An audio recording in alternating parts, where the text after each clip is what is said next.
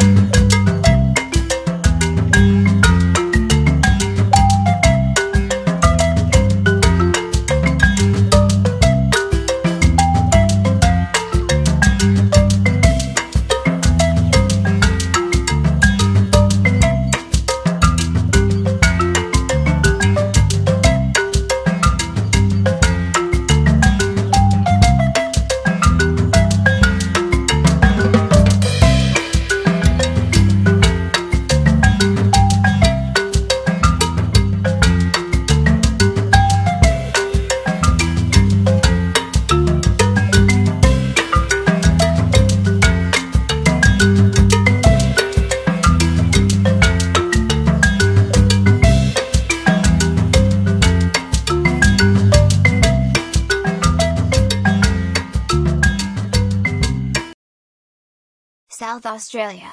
The koala was introduced near Adelaide and on several islands, including Kangaroo Island and French Island. The population on Magnetic Island represents the northern limit of its range. Fossil evidence shows that the koala's range stretched as far west as southwestern Western Australia during the late Pleistocene. They were likely driven to extinction in these areas by environmental changes and hunting by indigenous Australians. In South Australia, koalas were extirpated by the early 20th century and subsequently reintroduced. Koalas can be found in habitats ranging from relatively open forests to woodlands, and in climates ranging from tropical to cool temperate.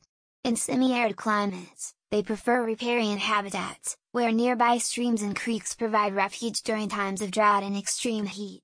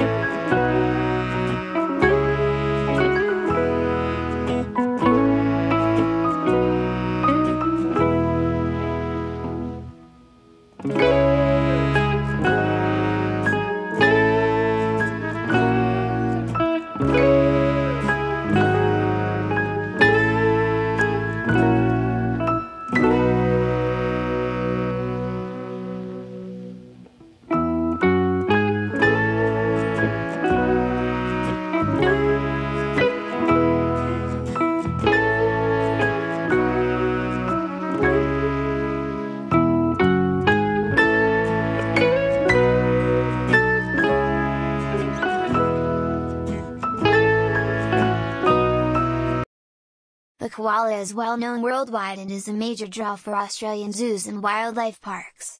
It has been featured in advertisements, games, cartoons, and as soft toys. It benefited the national tourism industry by over an estimated billion Australian dollars in 1998, a figure that has since grown. In 1997, half of visitors to Australia, especially those from Korea, Japan, and Taiwan, sought out zoos and wildlife parks, about 75% of European and Japanese tourists place the koala at the top of their lists of animals to see. According to biologist Stephen Jackson, if you were to take a straw poll of the animal most closely associated with Australia, it's a fair bet that the koala would come out marginally in front of the kangaroo. Factors that contribute to the koala's enduring popularity include its childlike body proportions and teddy bear-like face. The koala is featured in the Dreamtime stories and mythology of indigenous Australians. The Tharawal people believe that the animal helped throw the boat that brought them to the continent. Another myth tells of how a tribe killed a koala and used its long intestines to create a bridge for people from other parts of the world. This narrative highlights the koala's status as a game animal and the length of its intestines. Several stories tell of how the koala lost its tail. In one, a kangaroo cuts it off to punish the koala for being lazy and greedy. Tribes in both Queensland and Victoria regarded the koala as a wise animal and sought its advice. Bidjara-speaking people credited the koala for turning barren lands into lush forests. The animal is also depicted in rock carvings, though not as much as some other species.